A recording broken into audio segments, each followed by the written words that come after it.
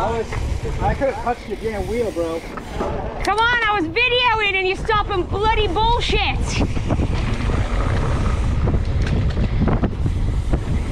Classic Jones move.